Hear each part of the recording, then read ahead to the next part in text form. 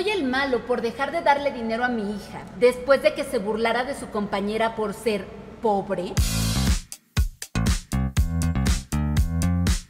Buenas noches, chulada. Bienvenido, bienvenida, bienvenide a un viernes más de Chismecitas. Yo soy Frida Arellano y el día de hoy, como todos los viernes, tenemos cinco chismecitos que tú hiciste el enorme favor de enviar a nuestro correo que te está apareciendo en este momento en pantalla y ocasionalmente algunos chismecitos de Reddit también. Yo te invito a que me sigas a través de todas mis redes sociales donde me puedes encontrar en todos lados como Frida Arellano. Síganme, es completamente gratis y a mí me ayudas un montón. ¿Qué les parece entonces si comenzamos con nuestro viernes de chismecitos? Primera historia de la noche. ¿Soy el malo por tener una cuenta de Tinder? Contexto. Durante la pandemia comencé a hacer streamings a través de la aplicación morada y tenía una sección llamada Leyendo perfiles en apps de citas. Así que por lógica, no solo tenía una cuenta en Tinder, sino que también tenía en varias plataformas de citas. Soy un hombre con una hija, producto de una relación que por desgracia no funcionó. Desde que me separé de la mamá de mi hija, llevaba cuatro años soltero. A finales de la pandemia conocí a una chica a la cual llamaremos Carolina. Ella es una gran mujer y lo que más me gustaba de ella era su dedicación y cómo se esforzaba por cumplir con todo en tiempo y forma. Comenzamos a platicar mucho, primero por WhatsApp y luego en persona. Al principio yo tenía muchísimo miedo de iniciar una relación seria, debido a mis malas experiencias en el pasado. Ya había sido rechazado en otras ocasiones con excusas como no salgo con gente que tiene hijos o no quiero la responsabilidad de un hijo ajeno. Incluso hubo quien me pidió que dejara de ver a mi hija si es que yo quería que saliéramos en serio. Respetaba sus decisiones porque sé que estar con un hombre con responsabilidades no es para nada fácil, pero nada en el mundo haría que yo dejara de ver a mi hija con de tener una pareja. Carolina, sin embargo, parecía bastante diferente. Mostró interés en el bienestar de mi hija desde el principio y eso me fue ganando poco a poco. Un día, mientras caminábamos, ella rozaba mi mano con su mano y pues no pude evitar decirle, si quieres tomarme de la mano, hazlo, no me voy a enojar. 15 días después, ya éramos novios. La relación duró unos meses, en los que fui completamente feliz. Ella me enseñó que podía ser a pesar de tener una hija. Me apoyaba en mi proyecto en la plataforma morada, aunque fuera solamente un hobby, y la verdad es que empecé a planear un futuro a su lado. Todo esto cambió cuando empezó a trabajar de hostess en un club. Ya sabes, estas chicas que se sientan con los clientes mientras ellos les invitan algo de beber o de comer y pues ellas obtienen una remuneración a cambio de esto. Yo la apoyé al 100%, aunque no podía evitar sentirme bastante incómodo. Un día, la vi riéndose a carcajadas con su celular. Me mostró el mensaje y yo también me reí. Era un hombre que le había invitado a una pizzería con temática de Bob Esponja. Le pregunté quién le había mandado ese mensaje y ella me dijo que pues era uno de sus clientes. Le dije que no me parecía correcto que les diera su número personal, que los hombres en esos lugares no estaban buscando precisamente tener una amistad con las chicas. Y ella me dijo que pues ella tendría muchísimo cuidado y que no exagerara la situación que no era para tanto. Con el tiempo,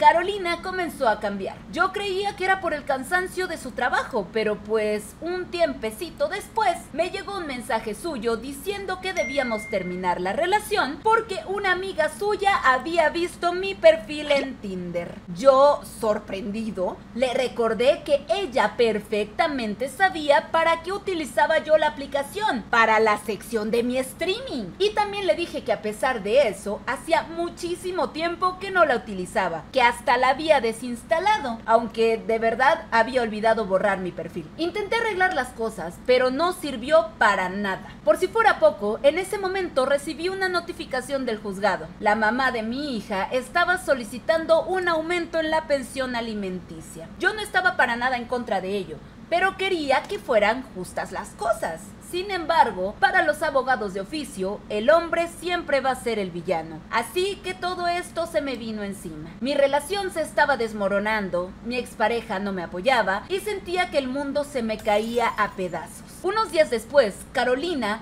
fue a mi casa para arreglar las cosas y terminamos teniendo intimidad. La verdad yo pensé que se habían solucionado todas las situaciones que solo había sido una discusión como cualquiera. Sin embargo, me preocupaba su trabajo, así que le recomendé que tuviera cuidado con sus compañeras en el club, porque no todas eran verdaderamente buenas amigas. Con el tiempo, las cosas no mejoraron para nada. Carolina no fue a la fiesta de cumpleaños donde yo iba a presentarle a mi hija, y esto me desanimó muchísimo, porque yo le había hablado a mi pequeña muchísimo sobre ella. Después llegó la Navidad y yo había comprado varios regalos y algunos detalles para Carolina. Le dije que me gustaría pasar las fiestas con ella, ya que no tengo buena relación con mi familia desde que falleció mi abuela. Y su respuesta fue devastadora para mí. ¿Para qué quieres pasar las fiestas conmigo? Lo que tuvimos fue solo te llamo por costumbre, déjalo. Fui a su casa para hablar y con toda calma me confesó que venía regresando de estar en el departamento de uno de sus clientes. Me dijo que andar conmigo había sido un error, que todas sus compañeras le decían que yo no iba a gastar el dinero que los hombres gastaban en el club en ella y que ella nunca me tomaría en serio porque tengo una hija. No supe qué más decir, así que solo le dije que le llevaría su regalo al otro día. Y me fui. Apenas llegué a la esquina y me solté en llanto mientras corría. Desde entonces dejé de hacer streamings. Me deprimí muchísimo y aunque sigo pensando en lo que pasó, me quedé con todo lo bueno. Así como Carolina llegó a mi vida, me hizo sentir amado. Sé que en algún momento llegará alguien más que pueda amarme incluso siendo papá. Pero la pregunta que siempre vuelve es, ¿por qué no borré esos perfiles y ya no los utilizaba? Fue solamente una excusa? ¿De verdad soy el malo? Yo puedo ver aquí que no eres el malo. Eres lo suficientemente maduro para saber que tu prioridad es tu hija. El hecho de que te hayas separado de su mamá no quita que tu hija sea tu responsabilidad. Punto número dos. ¿Fue un pretexto? Sí. ¿Sabes por qué? Porque ella ya sabía que tú tenías tu Tinder y lo usabas para tu sección, para tu trabajo, para lo, para, para lo que es. Fue un pretexto porque ella empezó a ver afluencia de dinero, porque queremos inmediatez, queremos que todo sea rápido, así a la de ya, queremos el dinero rápido, queremos la relación fácil, el contenido rápido, todo inmediato. Entonces ella empezó a ver que podía recibir mucho dinero así y no pensó a futuro. Entonces nunca le desees mal a una persona, déjala que le vaya bien, la vida se encargará de enseñarle y si no aprende a la primera, aprenderá a los golpes, pero de que aprenderá, esperemos que lo haga. Tú no te sientas mal, habemos tantísimas pinches personas en este mundo como para quedar enfrascados en pensar que una sola persona no nos quiere y que se acabó el mundo. No, chulada, no. Hay tanta gente. Claro que vas a encontrar a otra persona que tenga la misma visión que tú, que te quiera con todo y te aprenda a valorar y lo que eres como persona. Por decisión unánime, no eres el malo. No eres el malo, fuiste suficientemente maduro y nos da muchísimo gusto que antes de que hayas decidido comprar un anillo y dar el siguiente paso, te hayas dado cuenta de la persona con la que estás. Vamos con el segundo chismecito de la noche. ¿Soy la mala por demandar a mi madre? Te daré un poco de contexto acerca de mi situación. Hace poco tiempo tuve que mudarme de la casa de mi madre porque la señora se daba unas borracheras tremendas cada vez que el mujeriego de su amante la dejaba, porque era de esos hombres que solo les gustaba estar por ratitos con las mujeres. Desde la primera vez que vi a ese tipo, me dio un coraje enorme, porque se la pasaron coqueteando descaradamente frente a mi padrastro, quien por cierto es el hombre que ha sido como un padre para mí durante casi toda mi vida. Siempre estuve en contra de esa relación, sobre todo porque si ella quería andar con él, mínimo hubiera tenido la decencia de divorciarse de mi padrastro primero. Gracias a que me encontraba estudiando en ese momento, el Estado me ayudaba con unos 200 euros al mes para mis gastos escolares. El único problema era que antes me encontraba viviendo con mi mamá, así que era ella quien recibía ese dinero. Y cuando me salí de la casa, ella apenas y me mandaba unos 42 euros al mes para poder sobrevivir. 42 de los 200 que le daba el Estado. Mientras que ella se gastaba alrededor de unos 500 euros en una noche de fiesta con su amante. Y para colmo, le mandaba dinero a toda la familia de él. A mí no me ayudaba con nada, ni siquiera para mis estudios. Y encima me robaba lo que era mío, alegando que le debía todo por haberme traído a vivir a Alemania como si eso hubiera sido decisión mía o una deuda imperdonable. Un día, un trabajador del gobierno me dijo que tenía que demandarla para poder recibir mi dinero directamente, porque ella seguía alegando que yo vivía en su casa para poder seguir cobrando mi dinero. La demandé y el 90% de mi familia dejó de hablarme, incluidos mis abuelos. Eso me partió el corazón horriblemente y más porque me quedé completamente sola en un país que no es el mío. Aún así, seguí adelante con la demanda porque sinceramente yo necesitaba muchísimo más de ese dinero que ella. Mi madre dice que yo soy de lo peor que soy una malagradecida porque ella ha trabajado muchísimo para poder darme un futuro mejor. Y sí, la verdad es que yo la admiro muchísimo por ser una mujer tan luchadora. Pero eso no cambia el hecho de que en este momento está completamente cegada por su amante y yo he pasado a ser más bien un mueble viejo. Al final la demanda salió a mi favor y el Estado decidió que el dinero debería pagarse directamente a mí. Desde entonces mi mamá dice que estoy completamente para ella y llegó a escribirme un correo en el que afirmaba que el día más feliz de su vida será cuando le avisen que yo he Incluso se atrevió a decirme que si su pareja anterior me hubiera iba a ser porque yo me lo habría ganado. Como podrás imaginarte, todo esto me ha dejado marcada. He lidiado con la depresión durante años y hace casi tres fue la última vez que intenté desvivirme. En la clínica psiquiátrica me han diagnosticado con trastorno límite de la personalidad y desde entonces he estado yendo de clínica en clínica para poder tratarme. A veces me pregunto, ¿qué tanto le tengo que agradecer? Algunos de mis familiares y amigos de ella dicen que debería estar agradecida porque ella me trajo a este país donde al menos recibo atención médica para mi enfermedad, pero después de todo lo que he sufrido por su culpa, ¿realmente le debo algo a esa mujer? Mucha gente, incluidos mis abuelos, la ven como un ángel, aunque en el fondo todos saben quién es realmente. El problema es que a ella le gusta comprar a las personas y sus opiniones con dinero. Son esas mismas personas las que me dicen que debo pedirle perdón y que debería arreglar todas las cosas con ella. Pero dime la verdad, ¿soy la mala por exigir lo que es mío? Yo creo que no. Como tú lo dices, tienes todo tu derecho a tener ese dinero porque te lo paga el gobierno por ser estudiante y tu mamá no tiene derecho a quitártelo para gastárselo con su amante. Si quiere gastárselo con su amante, que gaste su propio dinero. ¿Por qué te quita el tuyo? No eres la mala, no eres la mala.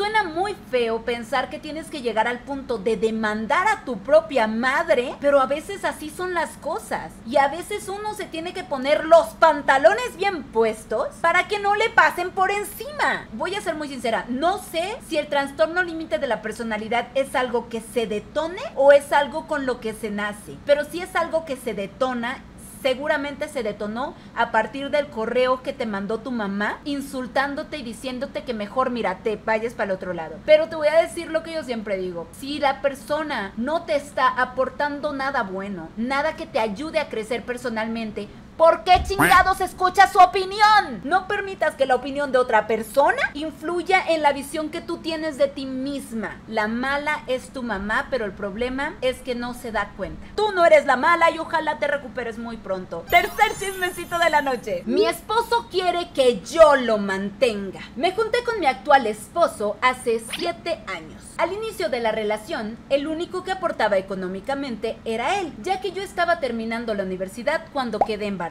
El dinero siempre fue un problema, ya que él recibía alrededor de 700 pesos a la semana y de ese dinero solamente me daba 200 pesos porque lo demás se lo gastaba en bebida. Él cambió de trabajo eventualmente, y empezó a obtener un poco más de dinero, mientras que yo, a los pocos meses de que nació mi primer bebé, empecé a trabajar solo tres días a la semana en un lugar donde ganaba igual o un poco más que él. Desde que empecé a trabajar, juntamos todo el dinero, sueldos, aguinaldos, etcétera, y de ahí pagábamos todos los gastos de la casa. Pasando el tiempo, me fueron asignando más días de trabajo, por lo tanto, también me asignaron más paga. Y fue aquí donde comenzó todo. De pronto, me empezaba a pedir que le comprara cosas como un celular nuevo, una nueva consola, ropa de marca, etc. Yo no tuve problemas y si pues estaba dentro de mis posibilidades, accedía a comprarle cosas a él y a nuestra hija.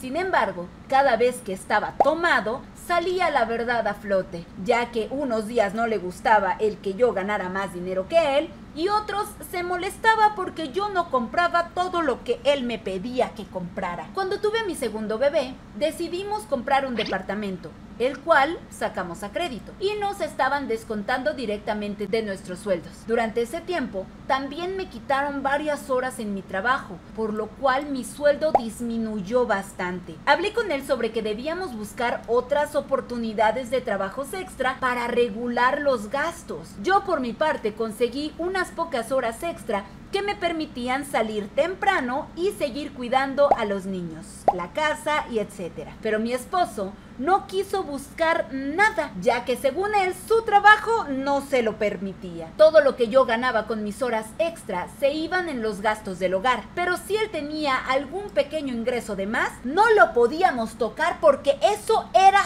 suyo, argumentando que yo le quitaba absolutamente todo. No comprendo cómo puede decir eso cuando tenemos dos hijos. E incluso hay días en los que me he quedado hasta sin mi pasaje para poder cubrir los gastos de la comida. Y ni hablar de que no le puedo pedir ni siquiera que pase por las tortillas, porque me las cobra. Y no está de más recordar los maravillosos regalos que me da en mi cumpleaños y en mi aniversario, que al final siempre termino pagando yo porque los compra con mis tarjetas. Él solo dice que soy una exagerada, me tacha de loca por el tema del dinero y dice que soy una irresponsable y una muy mala administradora, por lo cual le he pedido que entonces él se encargue de eso para que vea la realidad. Pero cuando le doy la lista de los gastos y de los ingresos, se enoja diciendo que yo me lo estoy inventando todo para poder sacarle cada vez más dinero. De un tiempo para acá se ha vuelto bastante celoso también y ha comenzado a mostrar una actitud muy del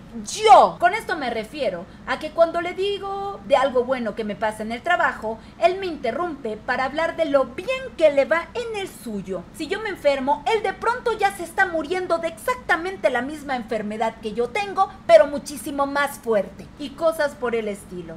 De que comenzó a inventar que yo me estaba a cualquier compañero del trabajo con el que haya entablado aunque sea una conversación. Últimamente estoy llegando a mi límite de esta situación, porque además no parece preocuparse en nada más que en él mismo, a niveles de que no puedo ni siquiera ir al baño porque él no intenta ni siquiera calmar el llanto de los bebés, solo le grita como si fuera un perro mientras juega con su Xbox y es capaz de dejarlo llorando por horas. Cuando él los cuida y yo trabajo, es capaz de dejarlos sin comer porque es su día de descanso y él no tiene que hacer nada. He intentado explicarle que son hijos de ambos y que son responsabilidad de ambos, pero me volteé a la discusión alegando que es culpa mía que los niños lloren y pidan de comer porque yo los acostumbré demasiado a mi presencia. Tampoco mentiré diciendo que es un monstruo porque tiene sus buenas temporadas, en donde llega y ayuda en la casa, pero al final siempre volvemos a la misma situación. Dime la verdad,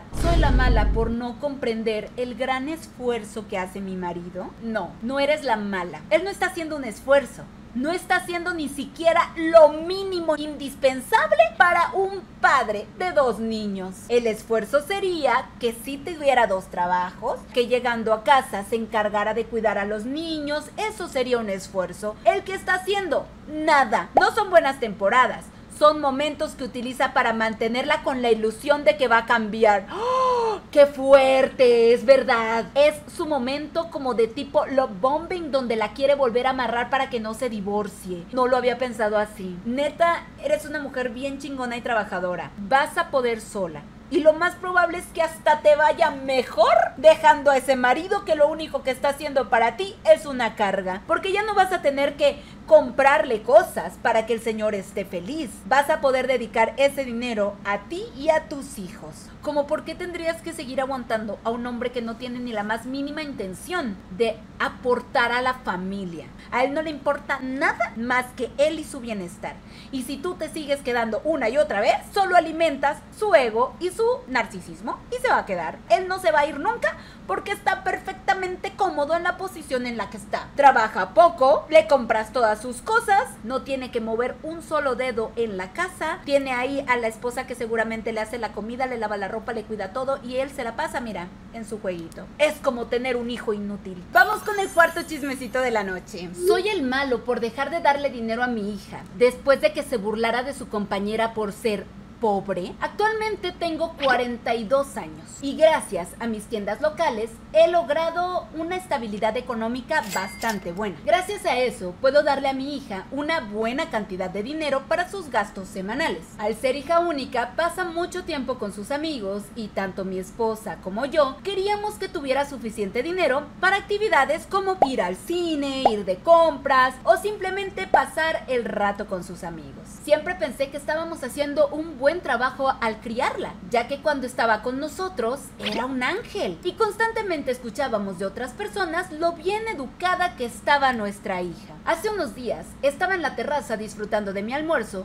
cuando la vi llegar con un par de compañeros de clase, un chico y una chica. Sabía que tenía que hacer un proyecto para la escuela con compañeros asignados al azar por el maestro, así que no me sorprendió no reconocerlos. Volví a concentrarme en mi comida, pero de pronto escuché a mi hija decirle a la chica que no tocaran nada porque estaba demasiado sucia para tocar cosas de ricos. Me quedé paralizado. El chico intentó calmar la situación y le dijo a mi hija que mejor se fueran a la biblioteca, pero ella siguió diciendo comentarios hirientes y burlándose de que la chica era tan pobre que ya tenía que empezar a trabajar y buscar empleos para gente sin dinero. Me arrepiento muchísimo de no haber intervenido en ese momento, pero estaba en shock. Para cuando reaccioné, ya estaban saliendo de la casa. Aún así, necesitaba calmarme porque estaba verdaderamente enojado, decepcionado y triste al darme cuenta de la realidad sobre mi hija. Cuando mi esposa llegó, le conté todo de inmediato y estaba tan desilusionada como yo. Empezó a culparse por no haberle enseñado mejores valores a nuestra hija. Después de hablarlo, nos dimos cuenta de que la responsabilidad de este error era completamente nuestra. Decidimos que nuestra hija necesitaba un baño de realidad por su propio bien. Mi esposa trabaja en una de nuestras tiendas porque le encanta el ambiente social y es algo que siempre ha disfrutado. Así que decidimos que mi hija dejaría de recibir dinero semanal y empezaría a trabajar en la tienda después de la escuela. Cuando mi hija llegó a casa, le hablamos sobre su comportamiento grosero y le explicamos que no todas las personas tienen la fortuna económica que tenemos nosotros. Así que nos aseguramos de que le pidiera disculpas a la chica y desde ese momento comenzó a ir a la tienda a trabajar después de la escuela. Hoy mis padres vinieron a comer y cuando mi hija les contó de que trabajaba en la tienda y no recibía suficiente dinero, comenzaron a insultarnos. Nos dijeron que éramos unos egoístas y crueles por tener dinero y no dárselo a nuestra propia hija. Les explicamos lo que había sucedido y que queríamos enseñarle que el dinero no crece en los árboles, pero ellos no lo tomaron para nada bien y dijeron que nuestra hija solo estaba diciendo la verdad sobre su compañera, además de que se enojaron respecto al por qué dejaban estudiar en una escuela tan prestigiosa a niños pobres. Esto me molestó tanto que decidimos echarlos de nuestra casa en ese mismo momento. Mi esposa y yo nos pusimos de acuerdo para dejar de apoyarlos económicamente por su ignorancia, al pensar que insultar a alguien por su situación económica es simplemente decir la verdad. Estoy 100% seguro de que estamos haciendo lo correcto, pero aún así mi hija no deja de decir que soy muy cruel. Dime la verdad, ¿soy el malo? No, no eres el malo. Tienes el pensamiento muy claro. Con esta corrección estás educando a una persona que se va a adaptar muy bien a la sociedad. Modalidad de la educación respetuosa es buena si se acompaña también con correctivos a tiempo. No me estoy refiriendo a que hay que golpear a los niños, nada de eso, pero sí hay que corregir ciertos comportamientos. Los padres de ahora están tan empeñados en no querer traumar a sus hijos que se están olvidando de que tenemos que educarlos porque son el futuro de una sociedad y si no tienen esa educación, al único camino que nos va a llevar es pues a la destrucción de nosotros mismos. Porque estamos criando niños que creen que por el simple hecho de existir se lo merecen todo y ya no se esfuerzan por nada. El dinero se gana, el dinero se trabaja por el bien de todos y porque pues así deben de ser las cosas. Y si tus papás también están teniendo esa visión de, ay, los pobres, no, así no es. Somos una sociedad en la que todos necesitamos de todos. Y humillar a otros por sus posibilidades económicas no es correcto. De ninguna manera. El dinero no hace a las personas. El dinero revela la clase de personas que siempre han sido. Y me da mucho gusto saber que estas personas, que ustedes como padres, que ahora tienen dinero después de haberlo trabajado tanto, no perdieron el piso y siempre han sido buenas personas que no están dispuestos a permitir que su hija, que ahora ya tiene dinero, humille a otros por sus posibilidades económicas. Qué gusto. Y si fue necesario que te alejaras de tus padres, qué gusto. Lo hemos dicho muchas veces. El árbol genealógico también se poda y se podará las veces que sea necesario. Último chismecito de la noche. Mi esposo nos abandonó por otra mujer. ¿Soy la mala por no querer salvar la relación? A principios de este año, mi esposo me pidió el divorcio. Esto me tomó completamente desprevenida. Yo ni siquiera sabía que estábamos pasando por momentos difíciles en nuestra relación. Así que mi corazón prácticamente se detuvo cuando lo escuché decir esas palabras. Inmediatamente pensé que se había enterado de que en los últimos meses yo había estado hablando con algunos chicos que había conocido a través de internet. Nada en serio y nada verdaderamente grave. Honestamente no tengo ni idea de por qué lo hice. Creo que quiero justificarme diciendo que llevaba años sintiéndome olvidada por mi esposo y que lo único que buscaba con esos chicos era un poco de validación. Yo sé que lo que hice no estuvo bien y, verdaderamente me arrepiento. Mi esposo en muy pocas ocasiones tenía ganas de hablar conmigo y la mayor parte del tiempo la pasaba en su Xbox, evitándome a mí y a nuestros hijos. Así que yo en cierta forma ya estaba acostumbrada a sentirme completamente sola. Ese día se acercó a mí y me dijo que había pensado que quería esta vida, pero que en realidad llevaba años pensando que se arrepentía de nuestro matrimonio, de nuestros hijos y que en realidad nunca me había amado. Dijo que se había quedado deslumbrado por mi presencia, pero que una vez que se le había pasado la emoción ya era demasiado tarde para corregir la situación. Me dijo que él nunca había querido tener hijos y que prácticamente yo lo había obligado. Dijo que estaba depresivo y ansioso todo el tiempo y que se había dado cuenta de que todo esto era culpa mía y de los niños. Yo estaba en shock, pero aún así le pregunté si estaba dispuesto a que tomáramos una terapia de pareja. Él me dijo que ni siquiera lo consideraría como una posibilidad, pero al día siguiente cambió de opinión y me dijo que intentaría asistir a una o dos reuniones, pero que estaba completamente seguro de que no cambiaría su opinión porque él ya había tomado una decisión. También me dijo que estaba harto de tener que pasar tiempo conmigo y con los niños y que desearía nunca haberme conocido porque él prefería pasar su vida entera completamente solo que volver a estar conmigo. Me dijo que yo lo había forzado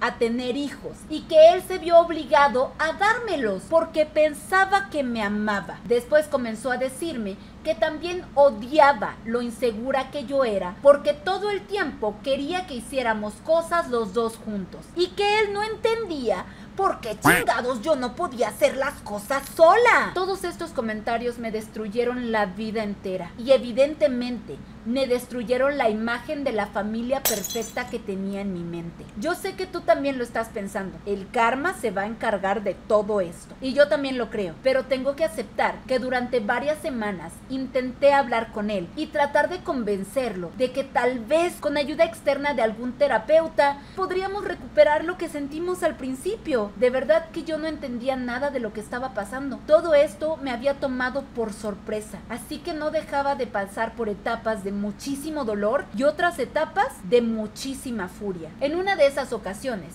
mientras teníamos una pequeña conversación, apareció la notificación de un mensaje en su teléfono. Decía extraño, lo cual me pareció verdaderamente extraño. Yo no soy una persona que acostumbre a revisar el teléfono de otras personas, pero por alguna razón sentí la terrible necesidad de hacerlo en el momento en el que él se levantó de la mesa. Abrí el mensaje e inmediatamente reconocí de quién se trataba. Me di cuenta de que él había estado engañándome durante todo este tiempo con una de sus compañeras de trabajo. Sentí que comenzó a revolverse mi estómago cuando comencé a leer los mensajes. Él no dejaba de decirle que deseaba poder pasar todo el tiempo a su lado, que extrañaba demasiado su cuerpo, su cabello, su sonrisa, su todo. Me llené de rabia. Y tal vez pensarás que yo no tengo absolutamente ningún derecho, pero honestamente su infidelidad fue mucho, muy superior a lo que yo había hecho solamente mandando mensajes. Porque él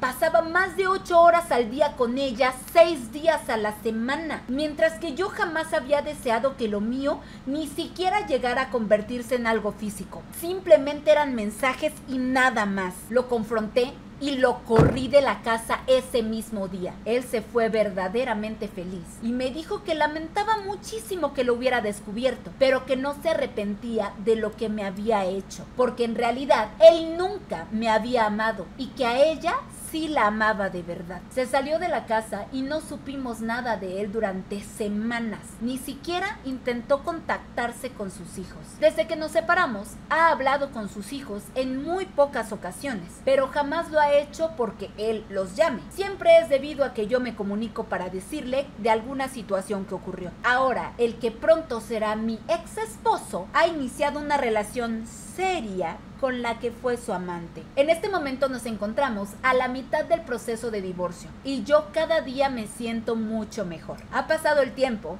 y he sanado muchísimas de mis heridas. He comenzado a salir con alguien con quien espero que las cosas funcionen verdaderamente bien. Él es muy amable, ambicioso, comunicativo, trabajador y verdaderamente guapo. La verdad estoy muy emocionada por ver hasta dónde llega esta relación, porque no te voy a mentir, es hermoso saber que tienes a alguien que quiere pasar todo el tiempo contigo, a alguien a quien no tienes que rogarle por atención y que de verdad muestra muchísimo interés en ti. Recientemente, el que pronto será mi ex esposo ha decidido comenzar a arrepentirse de su infidelidad y ahora resulta que también se arrepiente de todas las cosas que dijo en el calor del momento. Creo que ha de pensar que soy estúpida, porque además de que este arrepentimiento repentino es completamente falso, él sigue saliendo con la mujer con la que me engañó, porque perfectamente sabe que no estoy dispuesta a perdonarle nada de lo que me hizo o de lo que dijo. Honestamente, yo no creo que merezca la pena intentar reparar una relación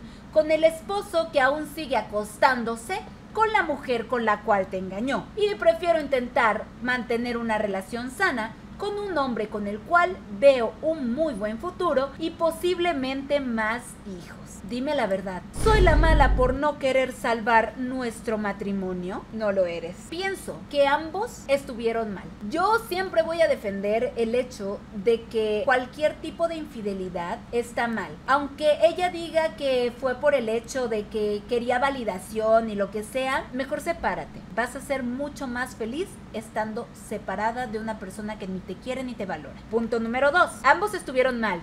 Sí, pero él estuvo peor, porque además de todo, él decidió ser cruel con ella. ¿Cuál era la necesidad de decirle, yo nunca te amé? De decirle, tú me obligaste a tener hijos, yo ni siquiera los quería, no te quiero a ti, no te quiero, no quiero a nuestros hijos, no quiero nada contigo. Eso no era necesario. Él fue muy cruel con ella. Así que ella está en todo su derecho de no querer salvar la relación con él. Ahora, ¿qué te pasa a ti, vato?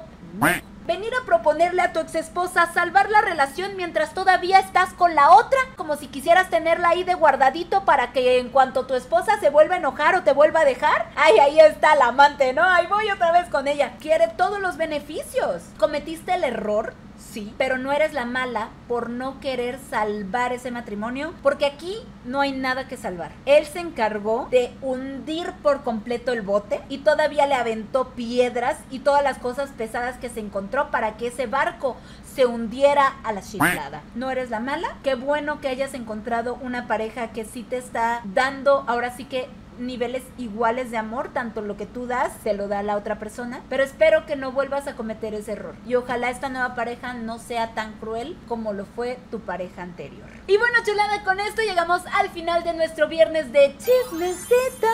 Yo soy Frida Arellano. Espero que te hayan entretenido y que te la hayas pasado muy bien con los chismecitos que contamos el día de hoy. Y te recuerdo que puedes mandarme tu chisme, tu historia, tu story time al correo que te está apareciendo en este momento en pantalla. Y también te invito nuevamente a que me sigas a través de todas mis redes sociales, donde me puedes encontrar como Frida Arellano. Yo me despido y nos vemos por aquí el próximo viernes. Bye.